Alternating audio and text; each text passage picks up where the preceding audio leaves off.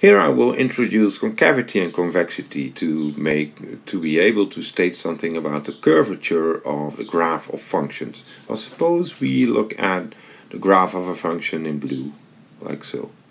So, and consider a point AFA on the graph.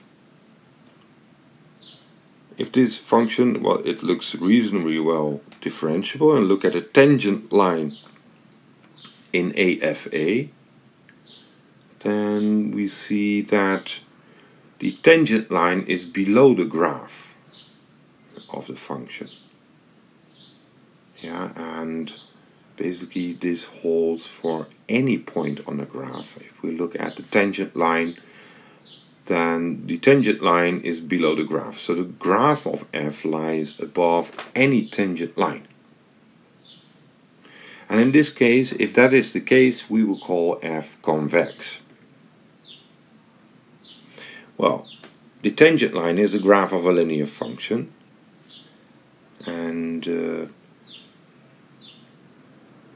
this linear function is a linear approximation. So f is defined convex if it holds for any a that fx is larger than the value of this linear approximation, which is fa plus f prime a times x minus a. Well, concavity works the other way around, so here look at the graph in blue, and again look at a point on the graph AFA. If we look at the tangent line in this case, then we may conclude that the tangent line is above the graph of the function.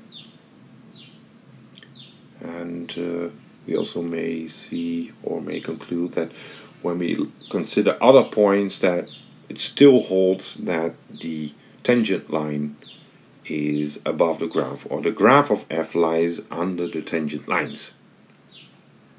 And if this is so on an interval i, then we will call f concave on the interval i.